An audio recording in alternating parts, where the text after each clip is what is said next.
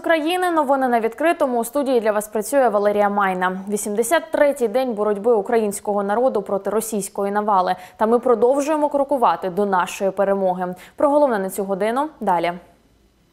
Тримаємо фронт у тилу і разом наближаємо нашу перемогу на Дніпропетровщині. Ситуація стабільна. Російських окупантів та техніки ворога на території регіону немає. Повідомляють у штабі оборони області. Підприємства критичної інфраструктури працюють у штатному режимі. Тож у помешканнях жителів є вода та світло. У магазинах є продукти, а в аптеках ліки. Ситуація з пальним на АЗС в області непроста, але все вирішиться в найближчі 10 днів.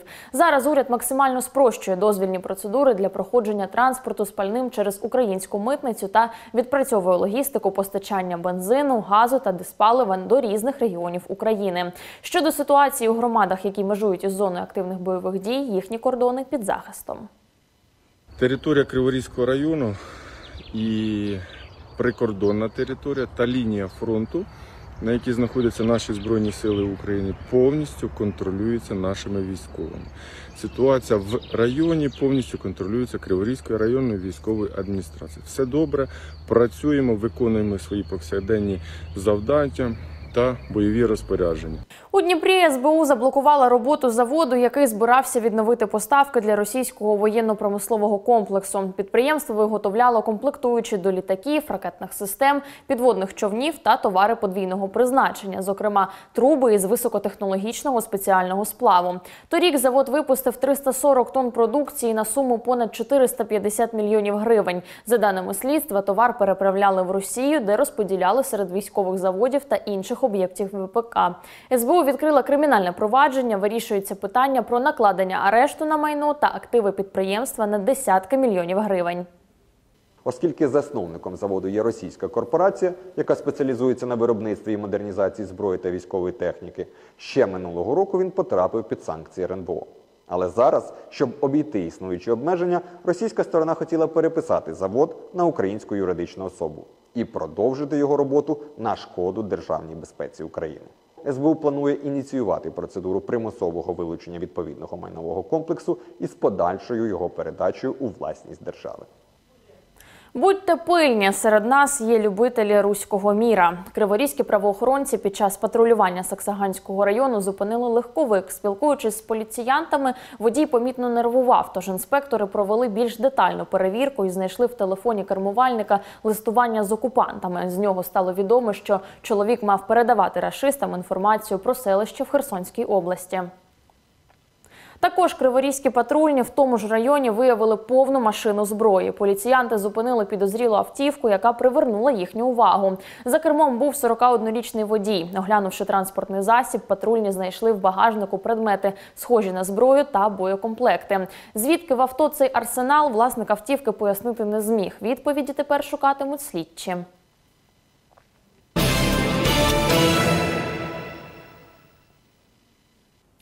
«125 тисяч гривень на допомогу бізнесу. Такі гранти можуть отримати українські підприємства на порталі Дія. Про це повідомляють у міністерстві цифрової трансформації. На кругленьку суму можуть розраховувати виробництва, що зареєстровані не пізніше 31 грудня 2021 року в областях, які постраждали від збройної агресії Росії. Пріоритет компаніям, які виробляють життєво необхідні товари або надають життєво необхідні послуги. Фінансують програму Європейський Союз та уряд Німеччини. Заявку на грант можна подати на порталі Дія. Дедлайн 7 червня.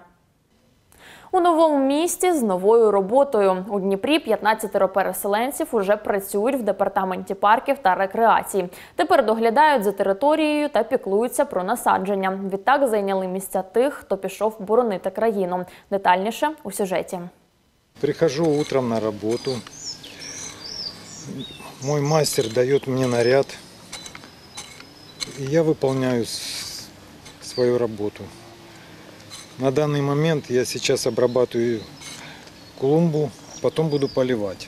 Це Володимир. Півтора місяці тому він із дружиною евакуювався з Лисичанська, де тривають активні бойові дії. У рідному місті займався підприємництвом. Однак довелося змінити не тільки місце проживання, а ще й роботу. Приехал с женой в в Днепр. Мы гуляли по парку.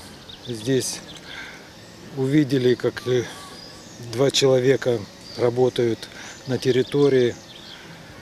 Они занимались покраской лавочек. Мы подошли и спросили, э, нет ли для нас вакансии. Зараз родина намагається відновити своє життя тут, у Дніпрі. Відтак, першим кроком до нового майбутнього стала робота в парку Придніпровський. Наразі там працюють п'ять переселенців. Це і озеленення, це утримання е, газонів, е, утримання квіткових клумб, висадка дерев, е, полив дерев, обрізка дерев, обрізка кущів.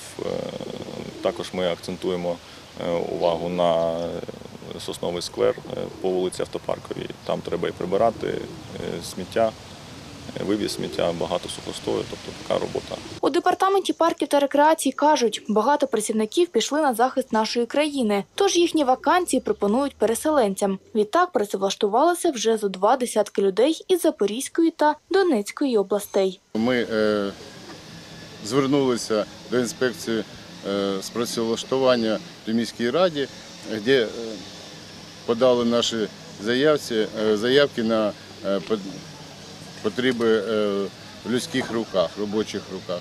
Нам потрібні були електрики, нам потрібні були прибиральники території, садівники та інші. Заробітна плата складається з 7 е, до 8,5 тисяч гривень.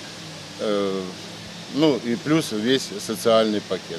Працевлаштуватися озеленювачем, особливих навичок не потрібно. Головне виконувати роботу на совість, бо парки це візитівка міста, кажуть у департаменті. Дізнатися про актуальні вакансії можна на сайті Дніпровської міськради. Дар'я Пшенична, Богдан Черевко, Open News, телеканал відкритий.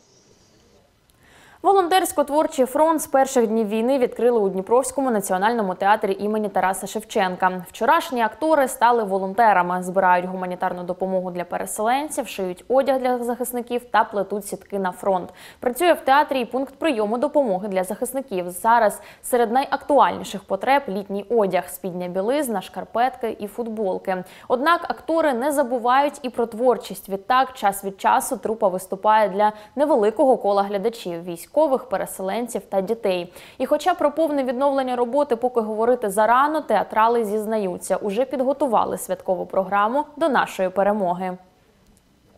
5-6 концертів провели це для е, біженців із Луганської, Донецької переселенці, із е, Маріуполя. І також е, е, концерти, дитячі е, вистави для дітей малих. Це і в метро, і е, для переселенців дітей. Що ще е, скажу чесно, що е, Нові танці зараз готують балет наш. Програма музикальної частини теж роблять нові і нові пісні. Ну, ми працюємо над цим. Піклуються про рідне місто та країну. У Дніпрі активні автори проєктів бюджету участі продовжують підтримувати порядок та розбудовувати свої житлові масиви. А ще допомагати військовим. Зокрема, на 12-му кварталі місцеві плетуть маскувальні сітки на фронт, збирають харчі для переселенців та облаштовують укриття. Однак не забувають і про плани після нашої перемоги. Відтак уже розробляють нові ініціативи для участі у програмі Бюджет участі. Мы не останавливаемся, нам нужно двигаться дальше, поэтому мы хотим еще дальше реализовывать свои новые идеи, доделывать то, что не успели сделать, когда наступит наше мирное время, и мы все равно включимся в эту всю работу и будем продолжать. Сейчас мы временно занимаемся делами, которые сейчас более важны для нашей страны. Щодо проєктів на 12-му кварталі, ми маємо дуже велику концентрацію цікавих е, проєктів, незважаючи на те, що ця локація за деякими е, думками вважається віддалено від центру міста, але незважаючи на це, мешканці тут є активні. Вони подавали проекти бюджету участі, реалізовували. Послання миру, солідарності та надії через творчість. Міжнародна організація ЮНІСЕФ запустила челендж для ілюстраторів. Щоб приєднатись до флешмобу, достатньо створити оригінальне зображення. Можна використати і вже створені роботи. Головне, щоб вони були ваші. Публікуйте малюнок у соцмережах Instagram, Twitter або Facebook з хештегом Illustrations for Peace. Щотижня організатори обиратимуть найпотужніші роботи та виставлятимуть їх на своїх сторінках. Ілюстратори зі всього світу вже активно долучаються до флешмобу. Повернутися додому, бути найщасливішою та поїхати мандрувати Україною. Такі побажання написані на стікерах в одному з ТРЦ Дніпра. Таку собі стіну мрій створили, аби кожен українець на згадку для себе та як посилання до всесвіту зміг залишити власні мрії та обіцянки. Ми безперечно віримо в нашу перемогу, і коли настане той самий день після війни, ми нарешті втілимо в життя свої відкладені мрії. Тож продовжуємо втілювати в реальність нашу найголовнішу мрію про перемогу над ворогом. Віримо в себе, віримо в ЗСУ. Все буде Україна.